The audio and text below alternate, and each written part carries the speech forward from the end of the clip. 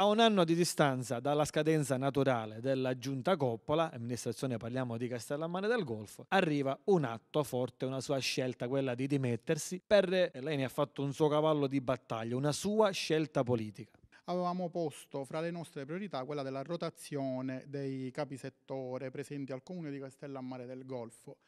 Ne abbiamo fatto una battaglia proprio perché tra l'altro è la legge anticorruzione che ce lo impone ma uh, a seguito di questa nostra richiesta nessun eh, risultato, nessuna risposta è arrivata da parte del sindaco. Siamo arrivati addirittura nel mese di dicembre 2016 a presentare un atto di indirizzo in tal senso in Consiglio Comunale, quasi come un primo grido d'allarme che il nostro gruppo consiliare eh, mandava ai eh, restanti colleghi della maggioranza. Non è stato colto, oggi la naturale conseguenza è la nostra uscita dall'amministrazione Coppola e eh, di conseguenza dalla maggioranza. Perché questa scelta di non ruotare i dirigenti non viene presa?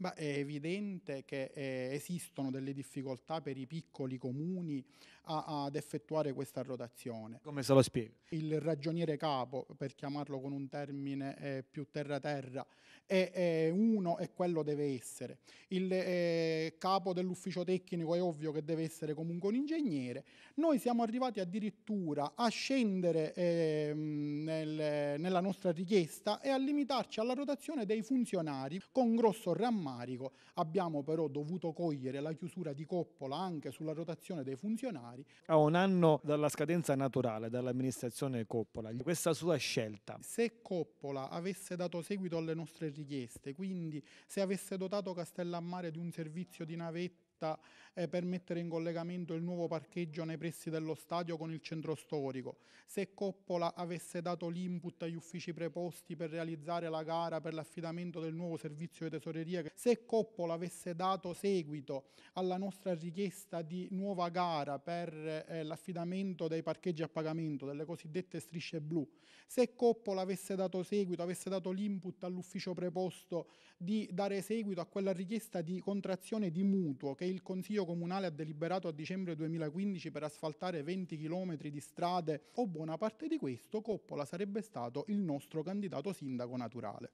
Le bruciano più quello che Coppola per suo non ha fatto o la rotazione che Coppola non ha fatto? Ma no, guardi, non è un problema. E avevo chiesto pure a Coppola l'incremento del numero di telecamere per meglio regolamentare e gestire le zone a traffico limitato. Per un, un comune quindi ad altissima vocazione turistica non possiamo assolutamente consentire che le zone a traffico limitato vengano svolte dal personale di protezione civile. Voglio ringraziare il sindaco Coppola per avermi dato la possibilità di fare comunque quella che per me resta un'esperienza resta comunque un arricchimento culturale, un arricchimento politico, è evidente e capisco anche e comprendo anche che probabilmente molte delle sue difficoltà sono dovute al fatto che magari non si è reso conto che rispetto a 30 anni fa la politica, il modo di gestire la pubblica amministrazione è totalmente cambiato.